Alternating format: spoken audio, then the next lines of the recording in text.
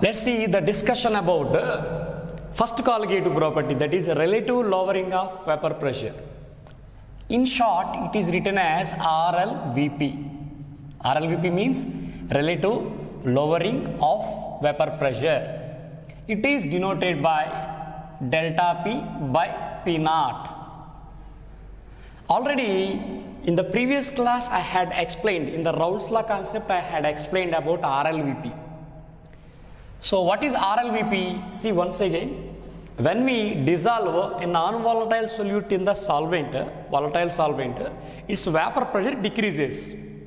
The difference between the vapor pressures of pure solvent and uh, that of solution is called lowering of vapor pressure. Its ratio, lowering of vapor pressure to pure solvent vapor pressure ratio is called RLVP. So, RLVP, what is the formula? Delta P by P naught equals to P naught minus PS by P naught. It is in turn equal to mole fraction of solute that we have discussed in the Raoult's law. For uh, mole fraction of solute means N2 by N1 plus N2. This is the formula. But uh, for a dilute solution, N1 is far greater than N2. That's why we can write it as N2 by N1. N2 by N1 means W2 by gram molecular weight 2 into gram molecular weight 1 by W1. Okay, here uh, since uh, for dilute solution N1 far greater than N2, that's why N1 plus N2 can be taken as approximately N1. So using that concept, I have changed the formula like this. Okay, so this is RLVP. So finally, what is the formula? P naught minus Ps by P naught equals to W2 by gram molecular weight 2 into gram molecular weight 1 by W1. Do you know the terms involved in it? P naught, vapor pressure of a pure solvent.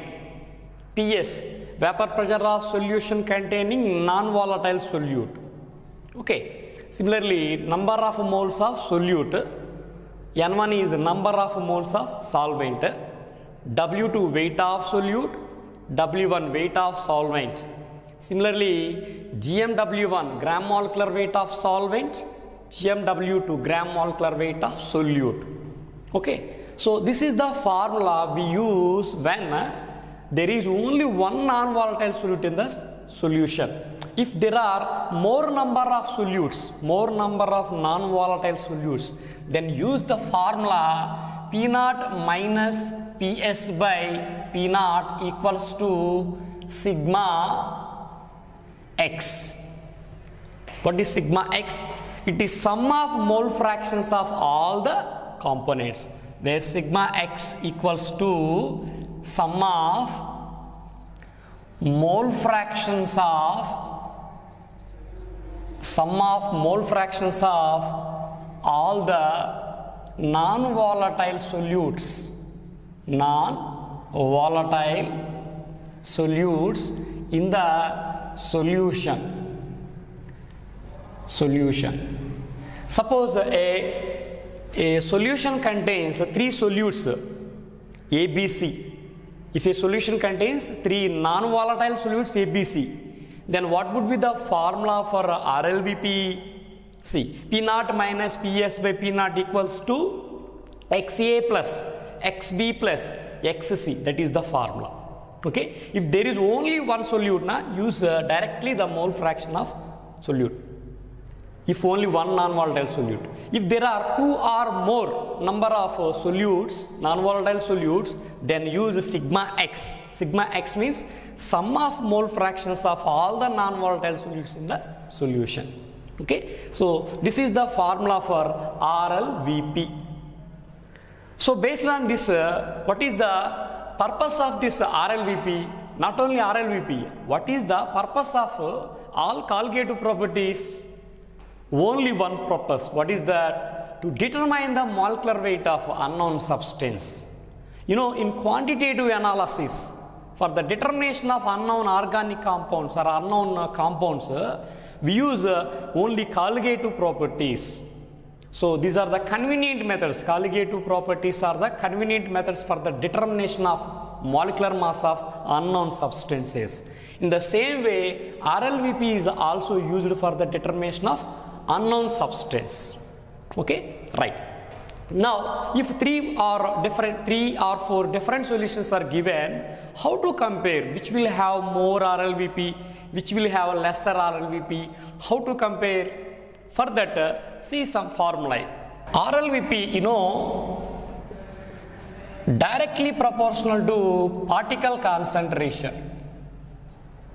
Particle concentration. Square bracket indicates what? Molarity. I explained in the last class that uh, how to calculate uh, particle concentration. See, it is directly proportional to particle concentration. Second one, RLVP is uh, directly proportional to 1 by gram molecular weight of solute. Directly proportional to 1 by gram molecular weight or inversely proportional to gram molecular weight of solute. This formula we use uh, when uh, weight of solute W2 is constant for different solutions. If weight of solute is constant, then we use this formula. So based on this, uh, some problems, conceptual questions will be asked. Let's see some examples. There are four different solutions. One is 0.1 molar urea. Second one, 0.1 molar NaCl.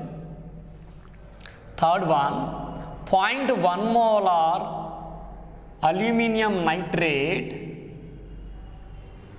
Fourth one, 0.1 molar some K4 FeCN6. That means potassium ferrocyanide. In potassium ferrocyanide, iron has oxidation state plus 2. In potassium ferricyanide, iron has plus 3. What is the difference between ferro and ferri? For ferrocyanide, potassium ferrocyanide K4 FeCN6. For potassium ferricyanide K3 FeCN6. Now, my question is among the four, which will have the highest RLVP or which will have the least RLVP? So, first, uh, uh, let's see the relation. Using this relation, we can say. First, let us find out the particle concentration among the four. Particle concentration for 0.1 molar urea. You know, urea is a, a non-electrolyte. That means it simply dissolves but doesn't give any ions. That's why particle concentration, solution concentration same for urea. That means 0.1 molar particle concentration. For this, you know NaCl is a dissociating substance. So it's an electrolyte. One NaCl, one NaCl can give two ions. So here solution concentration, particle concentration are not same. How to get particle concentration? Nothing. Nothing but particle concentration is equal to solution concentration into number of particles. So here what is solution concentration of 0.1? How many particles you will get from NaCl? 2. So 2 into 0.1 that means uh, 0.2 molar. So 0.2 molar is the particle concentration for the given salt. Similarly for this it is aluminum nitrate. One uh, molecule of this one can give 4 ions. How many? 4 ions it can give. So here particle concentration is 0.4 molar. Why it is 0.4? Because solution concentration 0.1, particle concentration means 0.1 into 4. Why 4? Because aluminum nitrate dissociates to one aluminum ion and three nitrate ions. That's why. Similarly, for this last compound, K4FeCN6, it's, an, it's a complex compound. You know, any complex compound dissociates to ions which are present outside the square bracket and one ion with the complex species. You know, this K4FeCN6 dissociates to 4K plus plus uh, FeCN6 4 minus. That means how many ions are obtained from one molecule? 4 plus 1. So 5 ions. So particle concentration is 0.1 into 5. That means 0.5 molar. Okay. So I have calculated the particle concentrations for all. Now say which has the highest uh, RLVP? Yes, highest RLVP means highest particle concentration. That means fourth option is the answer. Why? Using this hint, RLVP is directly proportional to particle concentration, which is having the highest particle concentration, the last option. That's why it will have the highest RLVP. Similarly, if a question is asked for least RLVP, then what is the answer? If the question is asked for least RLVP, least RLVP means least particle concentration. Among the four, which has the least first option. That's why 0.1 molar urea has the least RLVP because particle concentration is less. 0.41 molar K4FeCN6 has the highest. Okay, so in that way we can answer the conceptual questions. Similarly, see one more question in which uh, particle concentration same. That means uh, particle concentration uh, same, but weight molecular weights are differing. So for that, see one more question.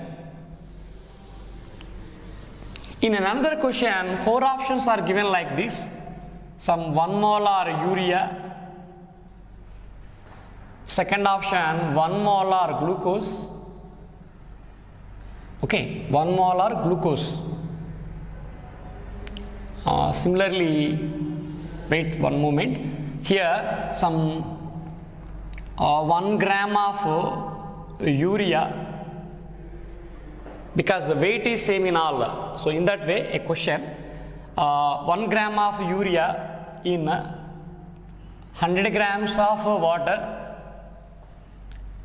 Similarly, second option, 1 gram of glucose per 100 grams of uh, solvent. Third option, 1 gram of uh, 1 gram of sucrose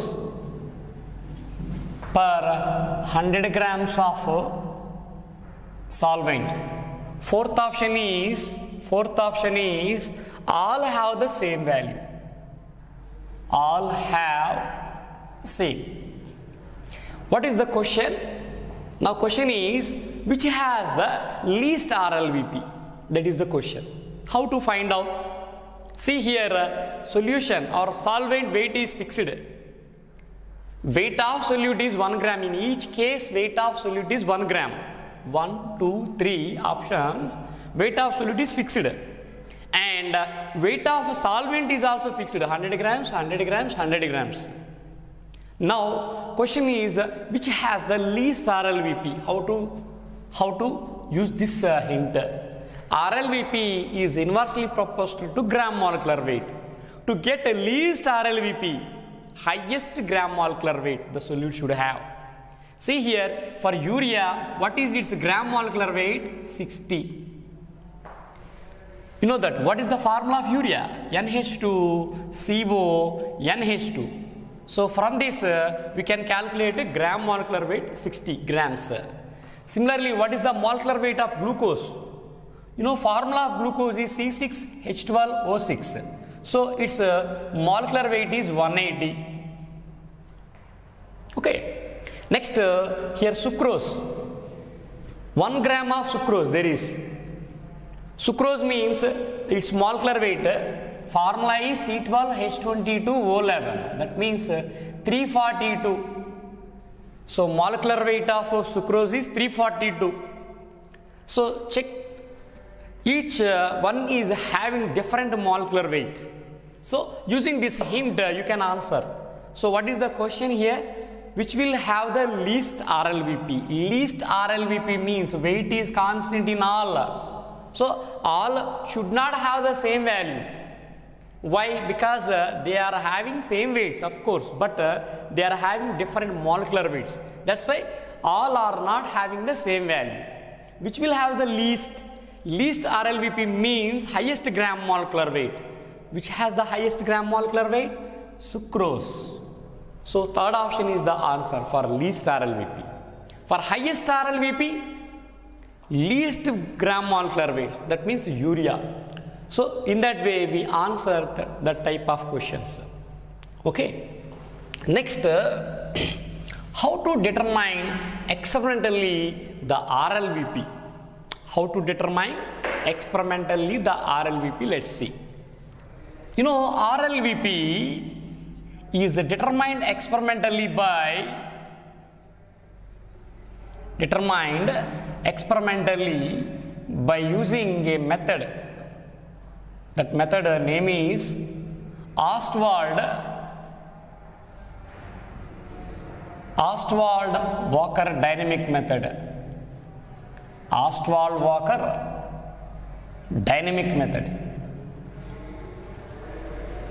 So using this method, uh, RLVP of uh, a solution containing non-volatile solute is determined. Okay, let's see the experiment in brief. This Ostwald-Walker method experiment in brief.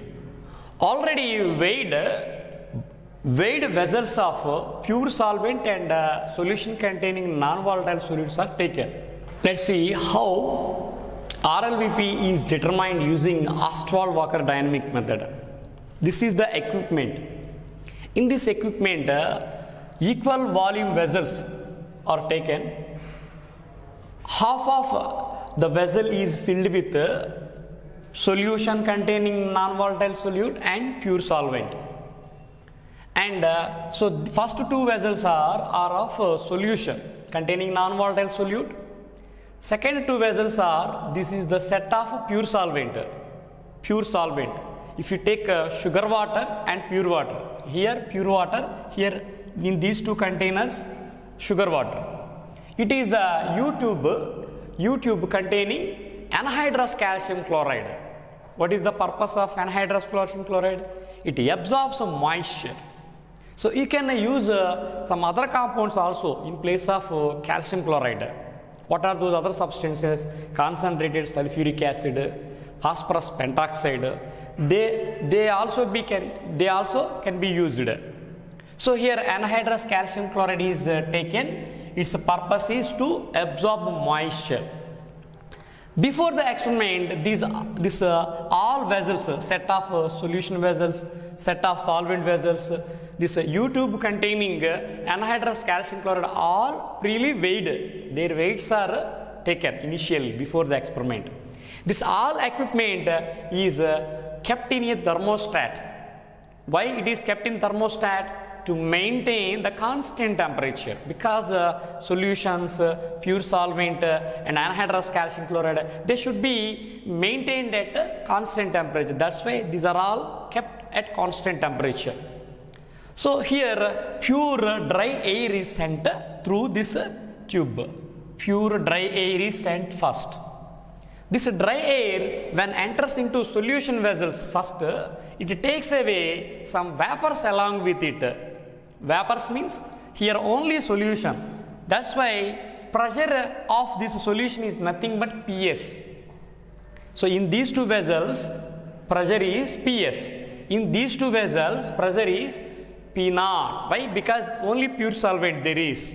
That's why here PS, here P naught. Which is more? between PS and P naught, which is more? P naught is more. I said earlier, when you dissolve a non-volatile solute in a pure solvent, its vapor pressure decreases. That's why PS is always lesser than P naught. So when this dry air enters into solution bulbs, what happens is it gets saturated with the vapors. The dry air gets saturated with the vapors and uh, it takes away some vapors from the solution bulbs. So in that way, it uh, next enter in, enters into these pure solvent bulbs. So after taking uh, some vapors from solution bulbs, this air now enters into pure solvent bulbs. Because of more pressure than PS, pure solvent, from pure solvent bulbs also air takes up some more uh, vapors. So in that way, by collecting some vapors from solution and from solvent bulbs, it finally enters into this U tube. So in E tube already there is anhydrous calcium chloride. That anhydrous calcium chloride absorbs all the vapors that are brought by air. So in that way, anhydrous chlorine chloride absorbs the moisture, that means vapors, and leaves the dry air again. So initially dry air is entered. At the end of the experiment, dry, is, dry air is left. It escaped, dry air escaped, leaving moisture in this anhydrous chloride. So in doing so, what happens in this experiment? Some vapors from solutions are brought away from the by the dry air dry air that's why its uh, weight decreases similarly from this set of bulbs also air uh, brings some vapors that's why weight of these two bulbs also decreases but here this U tube absorbs moisture. That means vapors from the dry, dry air. That's why its weight increases. So weight of solution bulbs decreases weight of uh, solvent bulbs decreases and weight of anhydrous calcium chloride increases. You know mass loss in both solution and pure solvent bulbs. Mass loss in both solution bulbs and solvent bulbs is equal to the mass gain in U tube containing this uh, anhydrous calcium chloride. Okay now let's see the relations how to find out the RLVP see here mass loss mass loss in the solution bulbs mass loss in the solution bulbs is directly proportional to ps why it is directly proportional to ps if uh, pressure of solution is more uh, the dry air takes away more vapors from it. So that's why mass loss mass loss in the solution bulbs is directly proportional to ps similarly mass loss in the solvent bulbs mass loss in the solvent bulbs is directly proportional to P naught minus PS. Why it is directly proportional to P naught minus PS? Why not to P naught? Because here already the air, dry air gets saturated by some vapors. Then PS, P naught is relatively somewhat higher. So that's why some more vapors only it takes up. Dry air takes up some more vapors only, not all the vapors. That's why mass loss in the solvent bulbs is directly proportional to P naught minus PS. Similarly, mass loss in mass loss in both the bulbs, both solution and both solution and solvent bulbs, both solution and solvent bulbs is directly proportional to this one plus this one. Mass loss in both solution and solvent bulbs directly proportional to PS plus P naught minus PS. That means P naught. Let mass loss in the solution bulbs be some X. Okay. Similarly, mass loss in some solvent bulbs be some Y. Then uh, mass loss in both solution and solvent bulbs is x plus y. x plus y. Similarly, this x plus y, you know, this is uh, directly proportional to this x plus y is nothing but uh, that uh, mass gain in uh, this uh, U tube containing anhydrous calcium chloride. I said na earlier, total mass loss in the solution and solvent bulbs is equal to mass gain in the tube containing anhydrous uh, calcium chloride. So now from the RLVP formula, how to write? From the RLVP formula we have P naught minus PS by P naught. To get this relation, P naught minus PS means uh, where P naught minus PS? This is the value. That means mass loss in solvent bulbs. So P naught minus Ps means mass loss in solvent bulb That is Y. Okay. By what is P naught? P naught is nothing but a mass loss in both the solution and solvent bulbs. That means X plus Y. Okay, so we can write here y by z also. What is z here? Z is nothing but mass gain in the U tube containing uh, U tube containing anhydrous calcium chloride. Total mass loss in uh, both the sets is equal to mass gain in uh, anhydrous calcium chloride. So using this formula, we can calculate the mole fraction. But you know, this total is equal to mole fraction of solute. Mole fraction of solute for dilute solution, how to write? N2 by N1 for a dilute solution. N2 by N1 means weight of solute by weight of uh, solvent into gram molecular weight of solvent by gram molecular weight of solute. Here already we have prepared the solution. That's why we know the weight of solute, weight of solvent and uh, for aqueous solution gram molecular weight is 18. So except uh, gram molecular weight 2 we know all the remaining terms W2 weight of solute we know because we have prepared the solution. So when we uh, prepare the solution, we measure the weight of solute, na? that's why we know. Similarly, weight of solvent also we know. If a solvent is water, then uh, gram molecular weight be 18, 1 8. That's why, so these three terms we know, na? except uh, gram molecular weight of solute.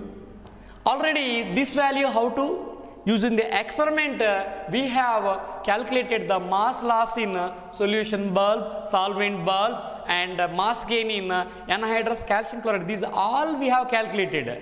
Substituting these values y, x, y by x plus y or y by z, we can calculate these uh, W2 we know, gram molecular weight 1, gram molecular weight 1, W1 we know. Similarly here, x and y we know or y and z we know. So which is unknown term in the total expression gram molecular weight of solute.